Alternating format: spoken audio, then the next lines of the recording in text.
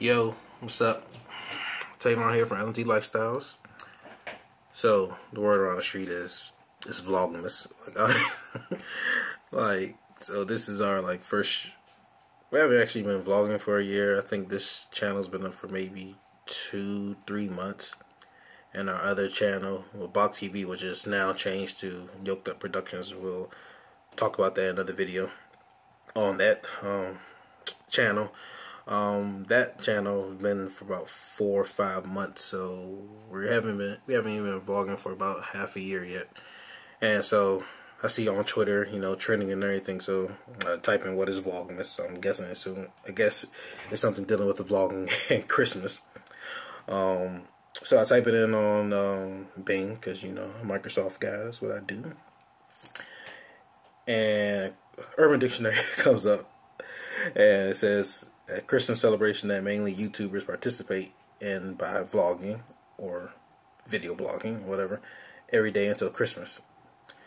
So I guess we're to try to participate in Vlogmas, being how today is December's 1st. So that means like, what, 24 videos after this?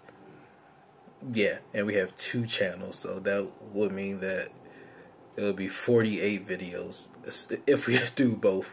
Or I don't think we'll be able to do both because we can't even, we're still trying to figure out our scheduling of posting and everything. But definitely for LNT Lifestyles, we're going to try because it seems like it's a cool thing and um, and getting the holiday spirit. So this is the first vlog of Vlogmas for LNT Lifestyles. You know, so don't forget to subscribe, like, follow us on Facebook, Twitter, Instagram. We have a Snapchat now. Yes, we do.